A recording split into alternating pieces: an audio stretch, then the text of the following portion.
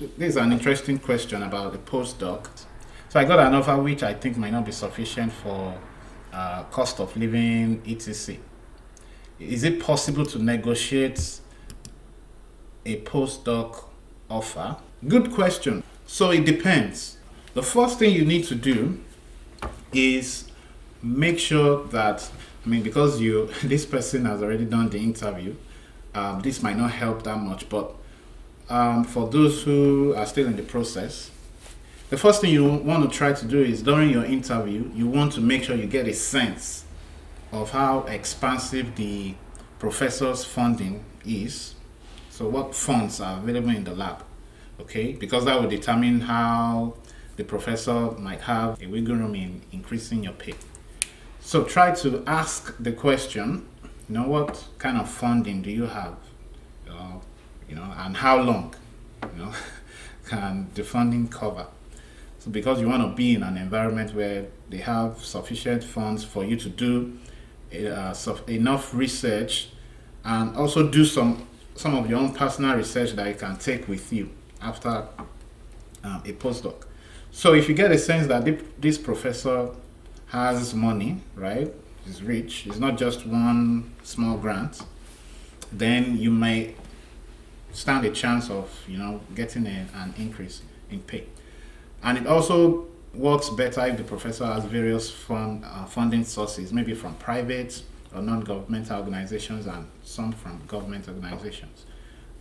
They are able to, you know, find some other sources to increase your pay. And it will also depend on your expertise, your level of expertise. Uh, um, for me, what I did for the current postdoc I have at Stanford was I tried to get a sense of, you know, the I knew that the professor the professor was moving from another institution to Stanford, right? So he's sort of a new professor, though he's going there as a full professor. So I'm sure they would have startup funds, and, and I know Stanford is rich, so they have startup funds, and he also has some uh, federal grants as well from NIH and NSF, uh, NIH specifically. So I know he has an expansive arsenal to fund his research. So using that knowledge, and because what I'm bringing is important to this, so I have some certain skills that they need to, you know, keep the lab going without trying to train me in certain skills. So if you if you are confident that you your skills are a good match for that professor and you would need little training, so you can of course use that uh, as leverage to ask for a bump in pay. I, I must say that before before you send the email, please make sure that you don't talk about increase in pay during the interview. You just want to get a sense of the funding because you don't have leverage yet. You only have leverage when they offer you uh, the position. When you actually receive an offer letter, that's when. I mean, it, this is not just for postdoc in any position whatsoever. So don't try to stay away from salary discussions during your interview but you now gain leverage or advantage when you have a physical offer. Because at that point, you are the number one candidate, and whatever you ask, if it's not like too much for them to handle, they will try to accommodate you. So that's something you should know. So I just sent a short email. Uh, thank you for the offer.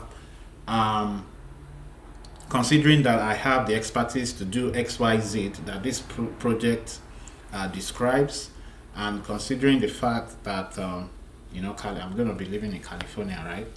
Uh, cost of living. I, I did a cost of living calculation, and I even attached uh, the the cost of living, you know, uh, result of the cost of living calculator to the email.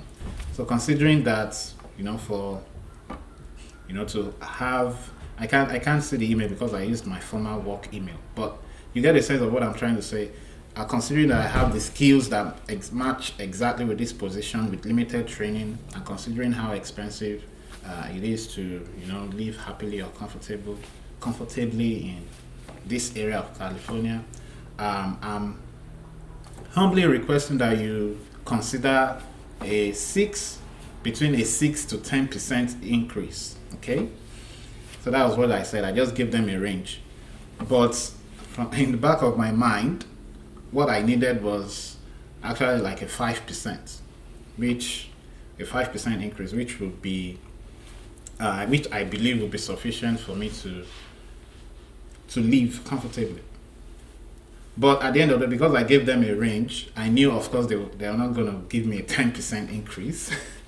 but at the end, what happened was they chose the lower end. They gave me a 6% increase. But in the actual sense, I wanted a 5%.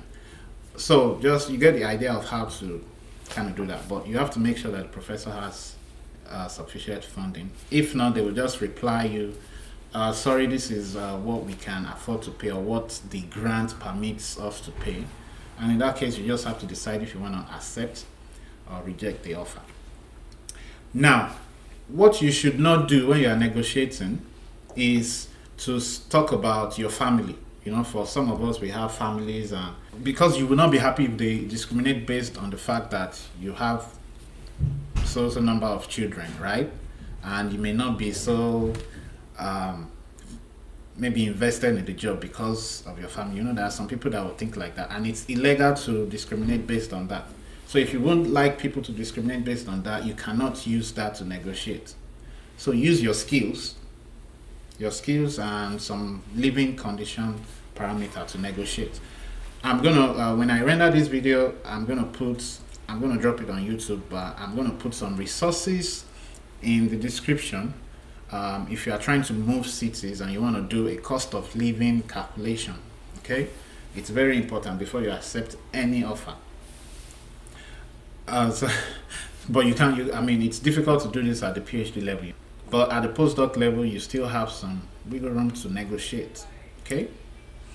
So that's my suggestion in that. Always try to negotiate but only after you receive the offer. That's when you have leverage